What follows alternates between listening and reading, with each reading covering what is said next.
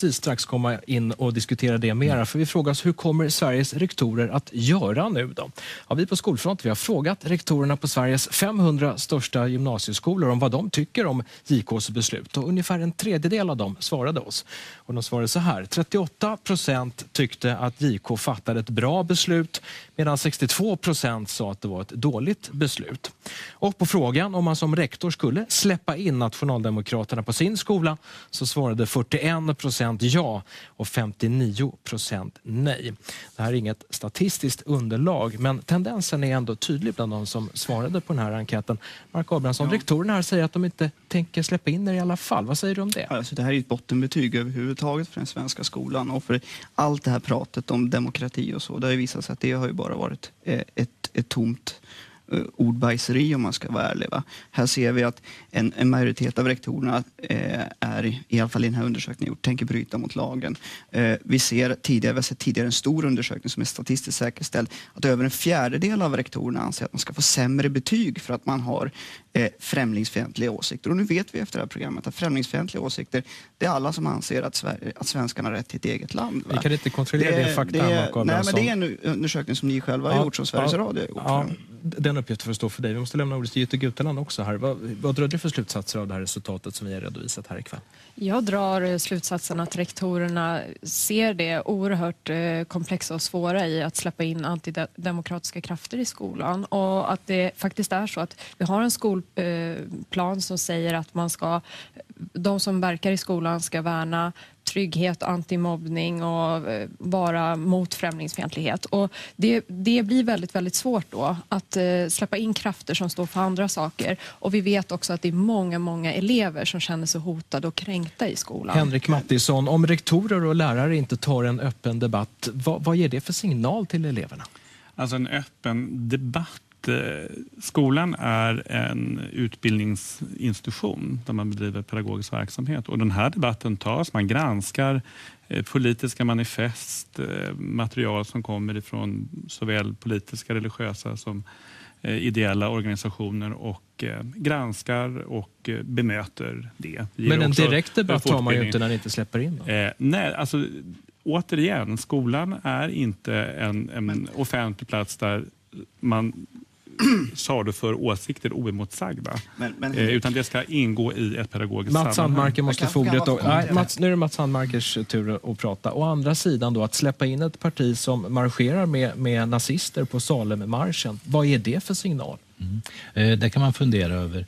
Eh, jag tycker som Götte här, jag känner att jag har mandat att eh, säga nej i ett sånt här läge. Jag hade mandat att säga nej. Jag kontaktade kontaktar mitt elevråd, pratade pratar igenom den här frågan med dem. Hur tycker ni vi ska göra? Ska, vill ni möta dem? Vill ni ta en diskussion?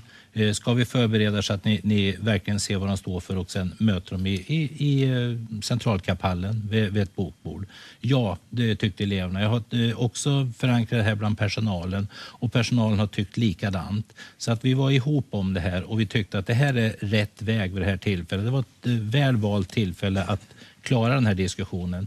Eleverna garanterade mig att eh, vi ska se till att det inte blir något tumult och bråk. För det är klart att det här budskapet som, som det här partiet står för är mycket provocerande för 50 procent eh, av våra elever kommer från eh, andra etniska grupper, utom eh, europeiska etniska grupper. Nu måste vi fortsätta Skolfront. Tack för att ni ja. kom hit. Tack för att ni kom hit. Vi måste höra vad eleverna tycker om den här frågan, för det är faktiskt eleverna som det handlar om. Precis, här sitter Skolfronts elevpanel. Tycker ni att Nationaldemokraterna ska få komma in på era skolor? Vad säger du? Ja, jag tycker faktiskt det. Ja. Nej, det tycker jag inte. Okej, okay, varför tycker du inte det? Eh, därför att jag anser att en, i en skola så ska alla, alla elever är där för att studera och alla ska ha samma rättigheter och alla ska känna sig trygga. Och jag tror inte att de ger inte den trygga känslan. Att man, man ska kunna känna sig trygg. Och jag, jag, tycker inte att de ger det, ger den känslan alls. Och speciellt när de inte tycker att alla har samma rätt. Nasif, du eh, går ju på Cornel Leclerc gymnasiet. Vi hörde ju din rektor här nyss. Eh, du är ordförande i elevrådet var med och fattade det här beslutet också. Ja. Var det ett svårt beslut tycker du? Självklart var det ett svårt beslut eftersom jag var tvungen att fråga eh, eleverna på min skola eftersom jag kunde ta ett beslut själv utan att fråga min styrelse. Och jag gjorde det och frågade hela elevrådet om vad de tycker. Det var vissa som, var, som nekade att låta Nationaldemokraterna komma hit. Fast eh, vi valde sen att eh, ta det där beslutet att, att eh, ta in dem eftersom vi ville be bevisa att vi kunde stå emot dem och visa vad vår politik Ja, vad hände då när de kom? Vad gjorde du? Självklart, jag, jag var den första som stod emot dem hela perioden. Hur då? Vad gjorde du? Jag stod emot dem och argumenterade från deras principprogram under eh, två timmar när de stod där. Ett argument är ju att elever kan känna sig kränkta om Nationaldemokraterna kommer in på skolan och det skulle ju då strida mot skollagen. Ska man acceptera den risken då? Alltså, det är en svår fråga. Men jag tycker ändå att alltså, man ska låta dem komma men man ska inte låta dem göra det i hur fria grunder som helst. De ska alltså, bli tillsagda. De får inte säga något rasistiskt uttalande eller dela ut klisterlappar eller eh, reklam av något slag.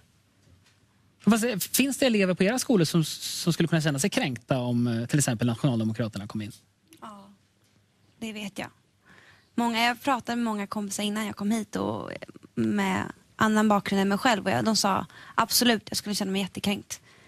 Yttrandefriheten smäller ändå högre då än grundlagen. Eller än skollagen. Hur ser ni på det?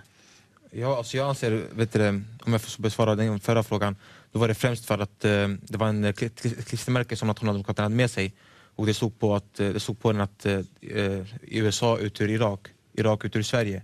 Och det var ju ganska kränkande mot, eh, mot det irakiska folket som vi har en stor, alltså, stor folk från... Men är det rektorerna då som ska besluta om det här? Eller ska eleverna involveras eh, i ett sånt här beslut? Jag tycker eleverna ska involveras, helt klart. I och med att det är de som går i skolan och det är många av dem som berörs av det hela. Så jag tycker absolut du ska kolla med eleverna i en skola. Om ni var rektor på en skola, skulle ni släppa in Nationaldemokraterna? Ja eller nej? Ja. Ja. Nej. Okej. Tack så mycket för att ni kom hit.